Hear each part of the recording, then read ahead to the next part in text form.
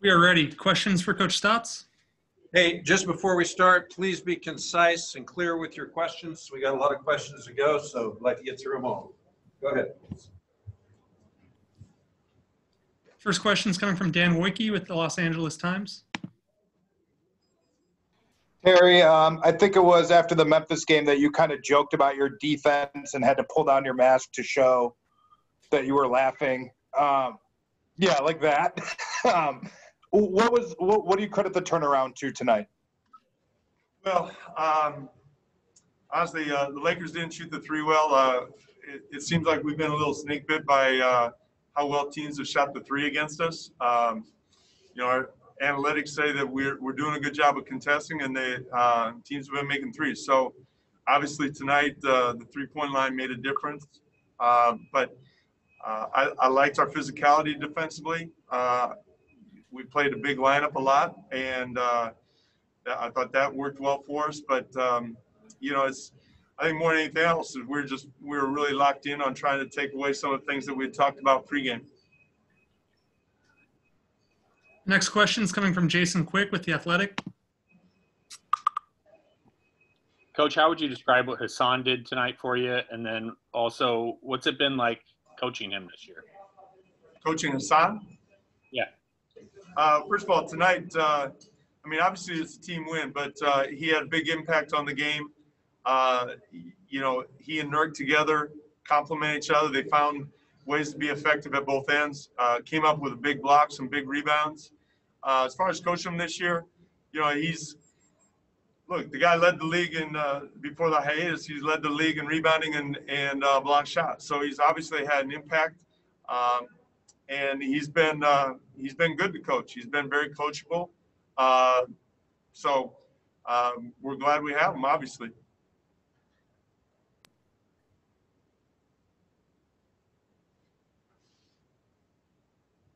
The next question is coming from Dwight Jaynes with NBC Sports Northwest. Terry, for the longest time in this game, neither team was making shots, uh, particularly from three point range. Can, you attribute that to just like first game of the playoffs, or or is that good defense, or what? What was the cause of that? Um, probably a little bit of everything. Uh, I thought uh, it was a very intense game. Is uh, everybody's playing hard? I, I, thought fatigue may have played a part of it.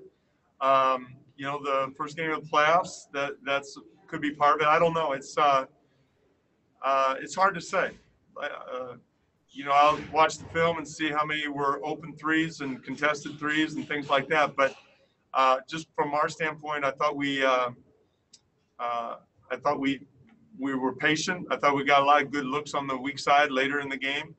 Um, but I thought both teams really, uh, the Lakers did a nice job of scrambling and contesting our threes. Um, but I don't know. It's you know, it's a funny game. That that happens. Next question is coming from Jason Quick. Coach, considering how well the Hassan Nurkic pairing uh, worked out for you, will you consider uh, starting that or, or, using more of it in game two? Well, I thought Wenyen was very effective in the starting role, so uh, I don't anticipate changing that. But um, you know, it was good to see that uh, Hassan and Nurk played well together. But I thought Wenyen in the starting lineup of both halves was uh, was effective for us. Next question is coming from Casey Holdahl with Trailblazers.com. Hi, Terry. I'm curious if you could talk about Damian's fourth quarter. Uh, it seemed like the entire game he really didn't force anything, kind of let the game come to him. But then in the fourth, it seems like, you know, he, he really kind of not flipped a switch necessarily, but but kind of changed it up a little bit. Just if, if you could talk at all about Damian's performance, particularly in the fourth.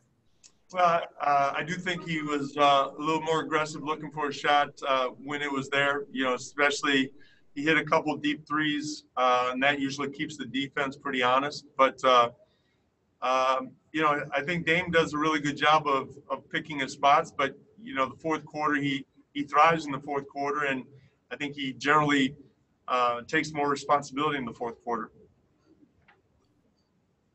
Next question is coming from Aaron Fentress with the Oregonian. Coach, once again, the ability to hit big shots late, especially from three, Lillard, Anthony, then Trent. Uh, just can you talk about how huge that was and how can you guys keep pulling that off?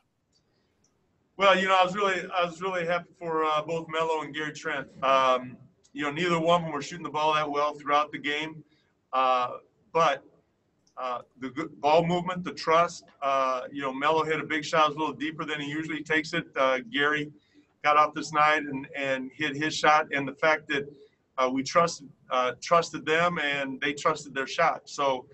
Um, you know, we've won some games already down here in Orlando because of those type of plays and those shot making. So, um, I just, uh, I'm glad that's part of our game is that trust. Thanks. Next question is coming from Jason Quick with The Athletic. Coach, I remember eight years ago when you were hired by Portland, I think it was Rick Carlisle who said that trust will be a big word that you use. Uh, do you feel like you still kind of uh, try to instill that in your teams, or have you established that enough throughout your time that it's just kind of uh, goes without saying? No, I think it's, uh, you know, you, every year is a new year. Uh, you have new players. Uh, certainly having a, a nucleus of Dame and CJ uh, obviously helps. And then you throw Nurk in there who's been here for a little bit.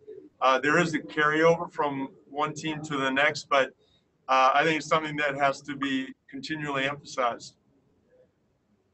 Next question is coming from Dwight Jaynes with NBC Sports Northwest. Terry, your offense has carried you through a lot of these games where you've just scored a lot of points and shot the ball well. Is it a real bonus for you? Is it a real plus to win a game in this big series shooting 39% from the field? Yeah, it is. Um, you know, anytime you can win a game shooting under 40% uh, is, you know, that means you grind, you grinded it out or ground it out, whatever you want to say. Um, and, you know, it was a, a difficult type of game, whether it's regular season or playoff game, is that you had to fight through some adversity, especially when you do count on your offense. So uh, it is good to win those type of games because uh, they're that much more difficult to win.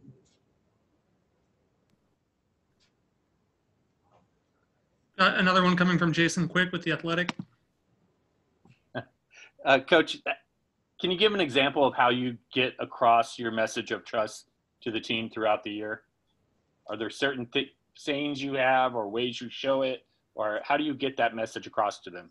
Uh, a lot of times it's uh, reinforcing it uh, in video sessions. Uh, you know, I think I, I, do like to reinforce the positive and showing what uh, what it looks like and uh, and why it's why it's effective. Um, you know, I'm sure that those two threes that uh, Melo and Gary hit uh, will probably be on the edit tomorrow because it's uh, as great as as much as you need individual performances in this league. Uh, you need to reinforce uh, that it's a team game. Final questions coming from Kristian Winfield with New York Daily News. Hey, Coach. Just in terms of the grand scheme of the series, how important is it to set a tone in the first game and come out and get a win, uh, especially when you talk about the way you got it? You shot under 40% and were able to really uh, hold the Lakers to, to what they were able to score. How, just how important was it to set the tone uh, with this win tonight? Well, you know, it's a long series. You don't want to get ahead of yourself. It's, uh, you know, when you can gain the advantage in the series, uh, if you can win the odd number, game one, three, five, and seven, uh, it bodes well. Uh, but we all know that it's uh, a lot can happen. So um, it's not like we uh, stole home court or anything. Uh, we're all in the bubble, and we need a great, great effort next game. We'll wrap it there. Thank you, Coach. All right, thank you.